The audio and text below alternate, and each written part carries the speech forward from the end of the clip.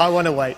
Our couples all want to make it through to next week, but if they do, they'll have to handle their toughest test yet.